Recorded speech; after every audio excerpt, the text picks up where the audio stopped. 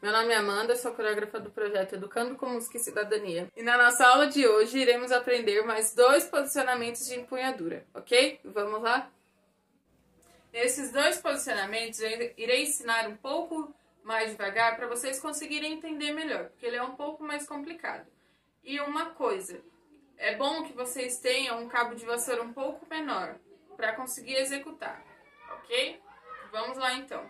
Iremos começar primeiro pela posição inicial, depois iremos apontar para o lado direito, as mãos irão se encontrar ao meio, depois irão fazer uma passagem para o lado esquerdo.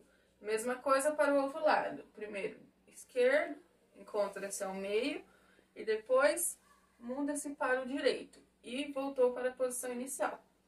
O segundo posicionamento é iremos apontar para o lado direito, iremos fazer uma passagem por cima e também iremos encontrar-se com as mãos no meio e depois iremos descer para o lado esquerdo. A mesma coisa para o outro lado. Esquerdo, se encontra-se ao meio e depois desce para o direito e retorna, ok?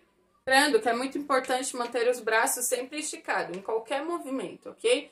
Tanto a hora que aponta, tanto a hora que passa por cima, tanto a hora que desce, ok? Manter os cotovelos sempre altos. Espero que vocês tenham gostado desse vídeo. Deixe o like de vocês, compartilhe com os amigos. Não esqueçam de seguir as nossas redes sociais no, no Facebook e no Instagram. Um beijo e até a próxima!